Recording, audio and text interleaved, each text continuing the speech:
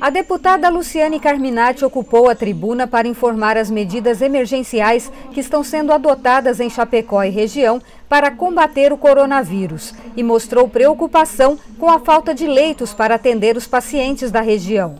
O crescimento está explodindo em termos de contágios.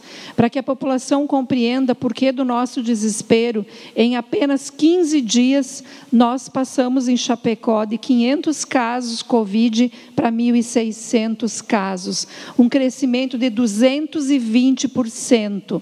Se a gente fizer o cálculo, se 10% dos 1.600 precisarem de leitos, vocês já podem aqui analisar que nós não temos aonde colocar se apenas 10% desses 1.600, deputado Ivan, precisaram de, precisarem de leitos UTI Covid. A parlamentar agradeceu o governo do estado e a Assembleia Legislativa pela mobilização para enfrentar o colapso na área da saúde. E agradecer aqui, deputado Kennedy, em nome da Assembleia, o presidente Mauro esteve conosco, representando os 40 deputados, e o pedido da bancada do Oeste, e foi autorizado 20 milhões que serão utilizados para novos equipamentos, custeio pagamento de profissionais. Também quero aqui, de forma pública, agradecer o empenho do governador através da Casa Civil e também da Secretaria da Saúde, que estão lá já há vários dias montaram um comitê estadual para analisar, acompanhar e tomar todas essas medidas no sentido de ter o controle né, e unificar as ações enquanto Estado. Outros parlamentares se pronunciaram sobre o tema. Enquanto nós não acreditarmos, e muita gente ainda não acredita nos protocolos que nós temos que seguir, eu não sei se não será só oeste de Santa Catarina, mas daqui um pouco todo o estado de Santa Catarina terá falta de leitos, falta de UTIs. É, se nós não seguirmos aquele protocolo que a ciência nos indica, só existe uma maneira de nós evitarmos que o vírus se propague tanto quanto está se propagando. É o uso de máscaras, é não aglomeração das pessoas, é não as pessoas as pessoas evitarem de se encontrar sem máscara. A Assembleia precisa fazer uma comissão especial de deputados para saber o que o governo do Estado está fazendo com os 40 milhões que a Assembleia Legislativa colocou à disposição do governo no combate ao Covid. O dinheiro que a Assembleia passa para o governo tem que receber uma prestação de contas especial, separada, sobre a vigilância específica dos deputados. A mãe do deputado Kennedy Nunes foi uma das vítimas da Covid-19. O parlamentar subiu à tribuna para prestar uma homenagem à dona Zenaide Francisco Nunes, conhecida em todo o Brasil e até no exterior pelo trabalho desenvolvido na Igreja Assembleia de Deus. A mãe do parlamentar tinha 85 anos e morreu na última segunda-feira.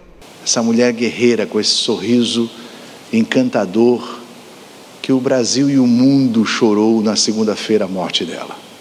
Mamãe era essa pessoa que vocês veem aqui com esse sorriso lindo. Quero aqui agradecer, agradecer ao Brasil e todos os lugares. Ontem, na segunda, nós recebemos ligações e manifestações de vários países, de todos os estados.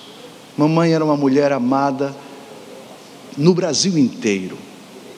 Nós, ela é matriarca do grupo Dedos de Davi, o grupo que ela formou, ela e os quatro filhos, ensinando os meus irmãos a tocar harpa, minha irmã violão, eu cavaquinho, depois harpa. E eu, como filho, honrei, cuidei e amei minha mãe. É muito forte isso. Outro tema debatido em plenário foi a proposta do governo do estado de investir 200 milhões de reais para ajudar na duplicação de duas rodovias federais, a BR-163 e a BR-470.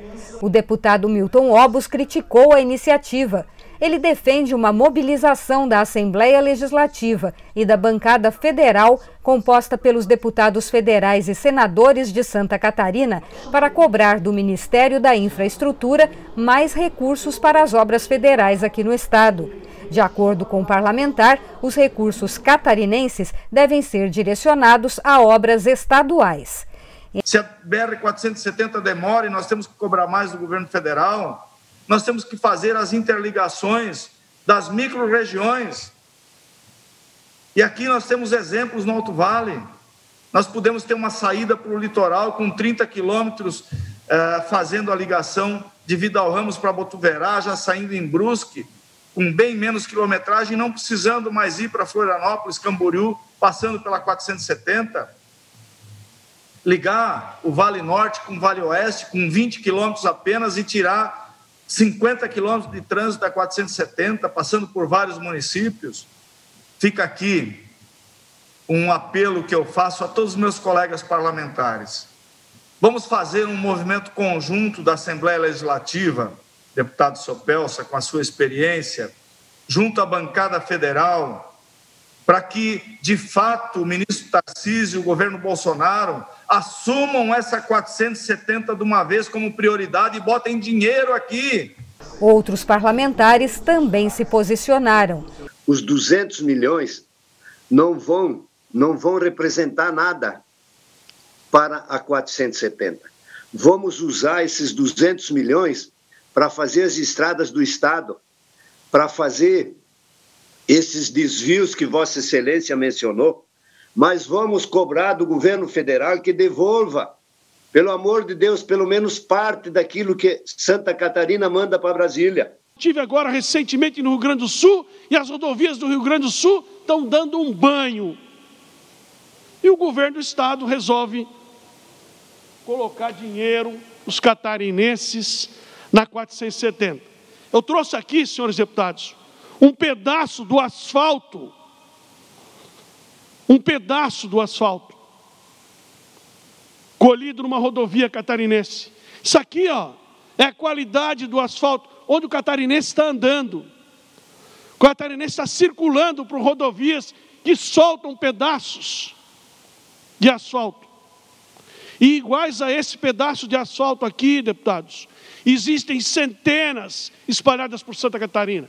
O deputado Valdir Cobalcini criticou a lentidão na concessão de licenças ambientais por parte do IMA, o Instituto do Meio Ambiente. Defendeu o projeto de autoria dele, que trata das licenças autodeclaratórias. É um projeto de suma importância para desburocratizar e acelerar a concessão de licenças.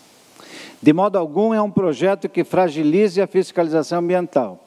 Muito pelo contrário para deixarmos mais claro, deputado Sopelso, basta que tracemos um paralelo com a questão da declaração do imposto de renda.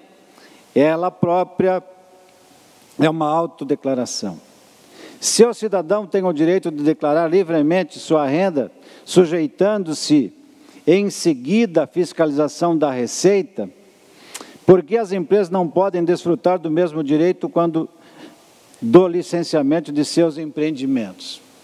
O parlamentar informou que deputados se reuniram na semana passada com o novo presidente do IMA, representantes da sociedade civil e do agronegócio, que defenderam uma ampla reforma do Código Estadual do Meio Ambiente. Como principal deliberação desta reunião, entendemos que chegou a hora de uma ampla revisão do Código Ambiental, que completa 10 anos, aliás, tem esta previsão quando da sanção do Código atual.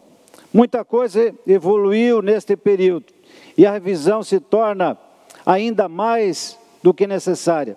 Basta sabermos que boa parte das nossas demandas que se apresentam têm sido regulamentadas através de portaria.